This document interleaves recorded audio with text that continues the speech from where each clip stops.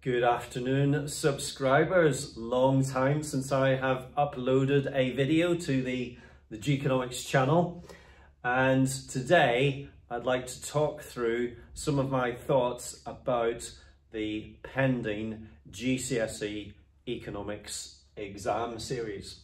So I have a spreadsheet behind me on the board and I have color coded it, ladies and gentlemen. So the 2022 paper is in blue, the 2023 paper is in red, and then in yellow we have what I think might be, and of course I've no inside knowledge on this, this is just uh, maybe an educated guess, what might be the likely topic areas that could be assessed on this year's both the micro paper, which you can see labelled here, and also the macro paper. So we're going to start on the, the micro economics revision tab. So I'll talk you through just briefly the 2022 paper, 2023, and then as I say, we'll get into um, some thoughts about what could potentially appear on the, the, the exam which is coming in the summer.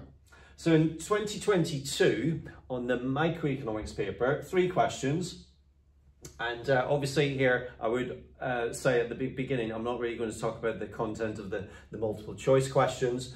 We're really just looking at the content of questions 21, 22 and 23, which are of course the, the extended answer style questions. So in 2022, ladies and gentlemen, we had a question about demand and supply to start off. And it was a lovely question. It was about house building and it's about a company which sort of specialised in building houses and particularly extend extensions onto houses.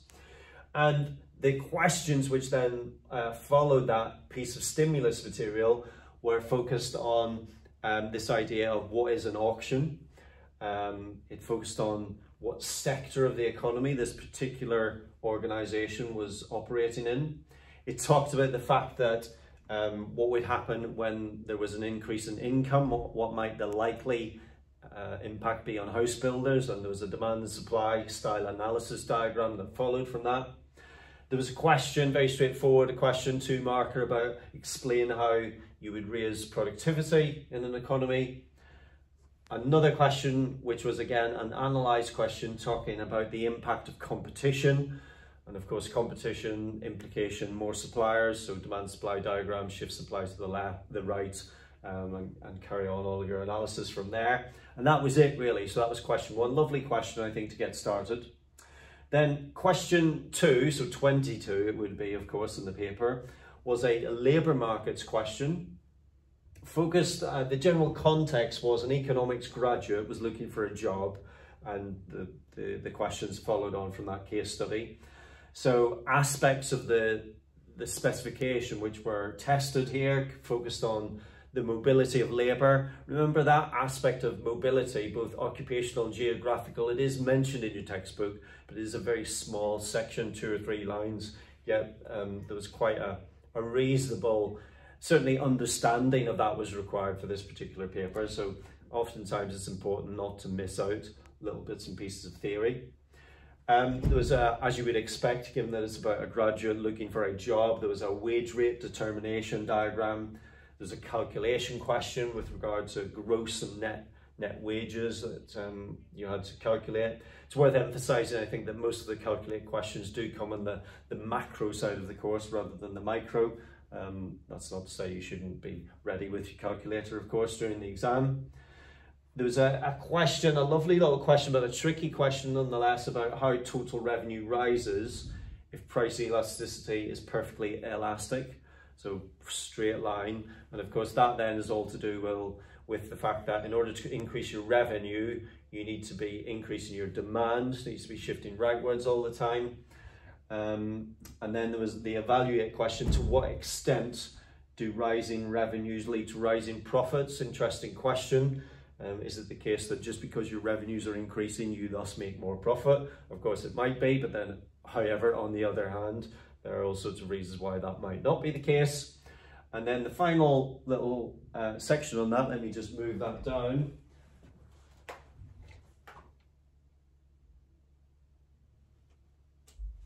So the final little section on that particular question Oh, well, that was it actually. So that was that takes us then to question three. And then question three was, oh no, it doesn't, sorry.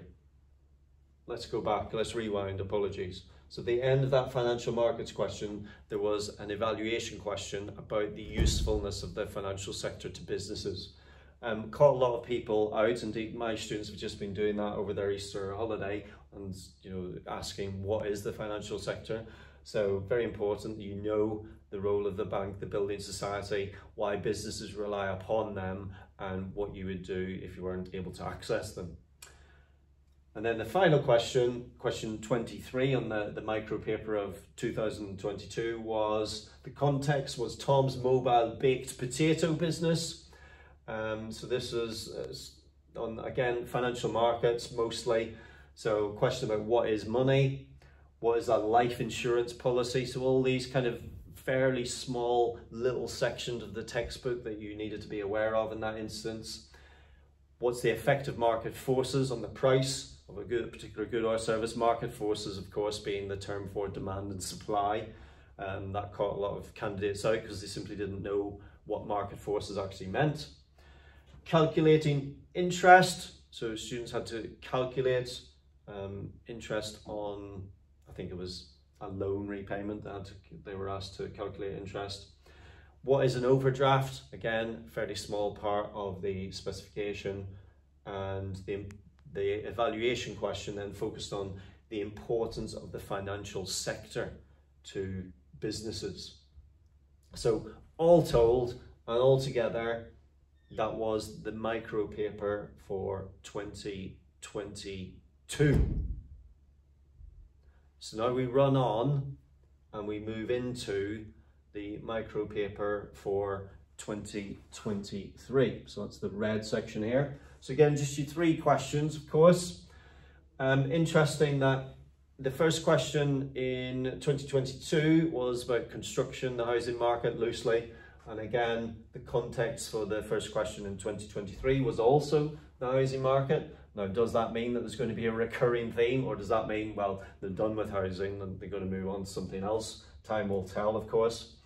But the questions here were to do with defining demand, interpreting data. So I think you were given a, a data set about house prices and how they moved over a period of time, had to interpret that data.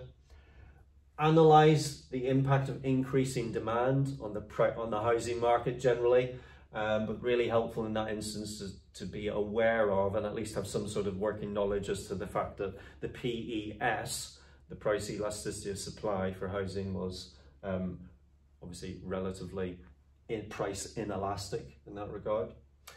Question about resource allocation. Um, another explain question, question why builders are producers. So remember, your explain questions are two markers and you really do need to make sure that you give two separate points to get the two separate marks. And then as it says in your in your specification, you need to be able to explain the, the sort of the uh, the inter the interrelated nature of producers, consumers and government.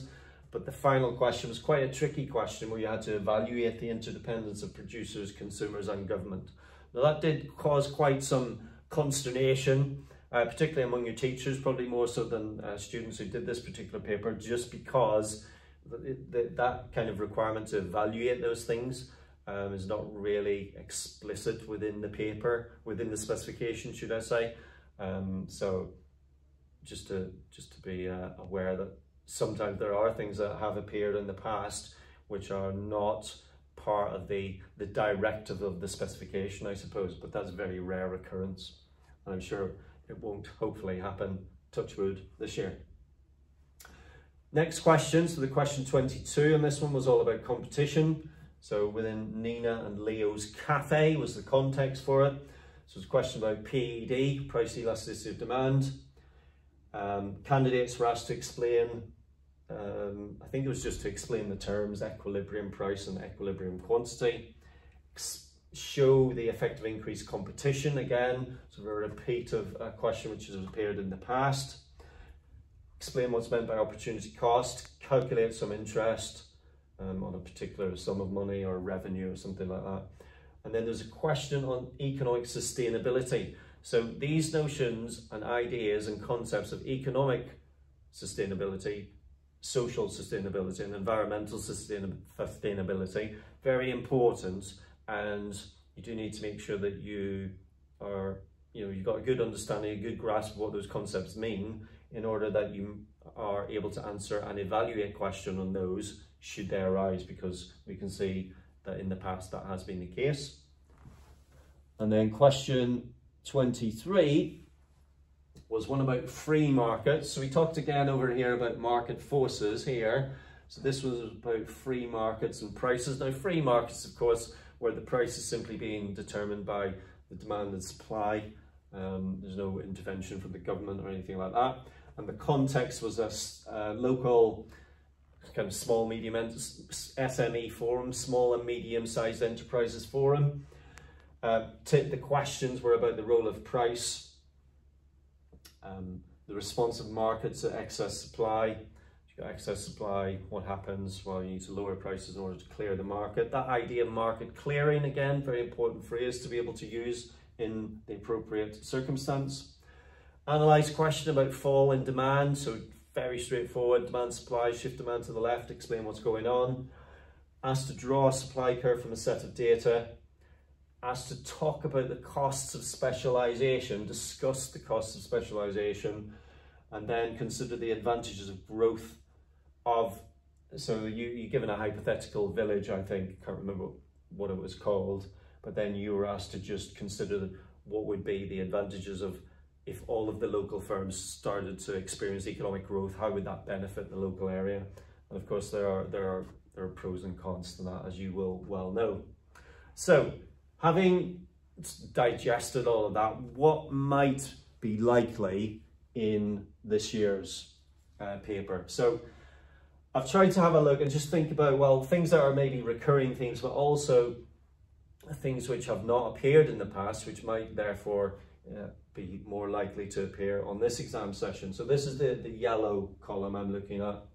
So I'm thinking about maybe markets, because there does seem to be a bit of a pattern here to housing market, housing market. So I'm thinking maybe the context could be the energy market, gas and electric, something like that, just given what's been going on in the global economy and to your, your parents and your carers, electricity and gas bills, etc. So maybe that's something something maybe around scarcity and choice, that notion of um, finite resources and scarce resources, again, just given what's been going on in the global, the global context with regard to the availability of certain resources, be that semiconductors or oil or whatever it might be. Maybe something to do with CELL, your, your factors of production, your capital, enterprise, land and labour.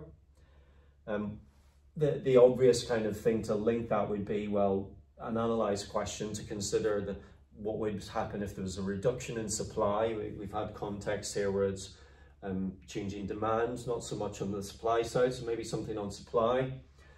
Maybe something about the understanding and application of the price elasticity of demand as well. So of course, although energy bills and things like that have gone up in price, your parents probably have still continued to buy more or less the same quantity due to the nature of the, the you know the, the price elasticity of demand of the good.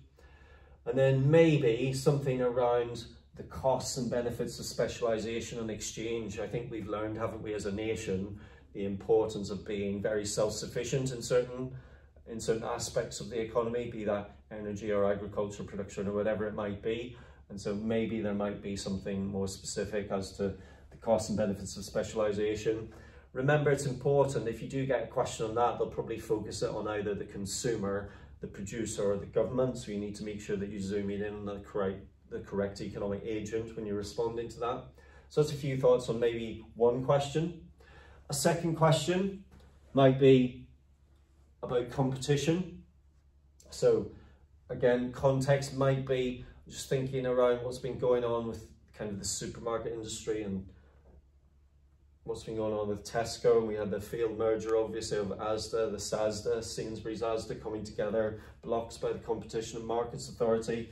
And we've had Aldi's and Lidl's really making good headway in the supermarket industry. But of course, in recent days, just last week or the week before Easter holiday, so April 2024, we saw that Tesco's made record profits, haven't we? Two point, can't remember the exact figure, two point something billion. So all in all, and just again, looking at what's gone before, there hasn't really been a lot on these market structures of oligopoly and monopoly and price competition, all of that sort of thing maybe is something that is ripe for some questions this year.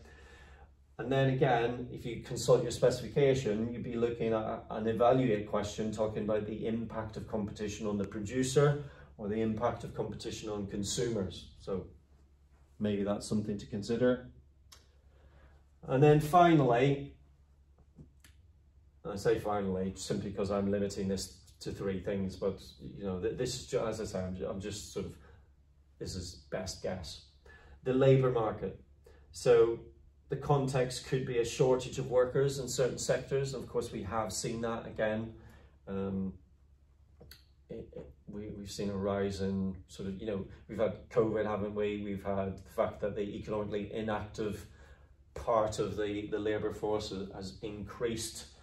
Um, so shortage of the labour market is tight. You may well be familiar with that phrase. Um, so there's not a lot of slack there in terms of people who are searching for jobs and in between jobs and looking for jobs. So maybe a shortage of workers in certain sectors. Again, what might the impact of that be on their wages? Um, so be, again, as you know, you're thinking about supply side shifting left and uh, wage wage costs rising for firms as a consequence. And then maybe something following on from that, a bigger evaluate or analyze question with regard to the costs of production. Obviously wage costs particularly for a school, for example, are a huge, a huge proportion of wage costs, of sorry, of overall costs. Your wage costs are a huge proportion of your overall costs. So what might the impact of that be on profit and your bottom line in, in that respect? So those are just a few thoughts on the micro side of the paper. Um, I'll put a link to this particular spreadsheet uh, in the in the notes below, and you can have a, a read of that at your leisure. Uh, if you've got any questions you'd like to fire my way, then, then please do. Um, I, I would really, you know, I would encourage you to have a look at the tutor2u revision economics playlist, which has been the sort of the live sessions have been ongoing during the, the Easter holiday. That although they are for A level, there's a lot that you um, would understand there, and I would really encourage you to to go to to subscribe, obviously, to the to You, and also to to um, just watch those videos and to glean what you can from it. Some of it will not be relevant to yourselves, but you'll you'll know that just from kind of the content of it. Okay, so that's it. Uh, bye for now.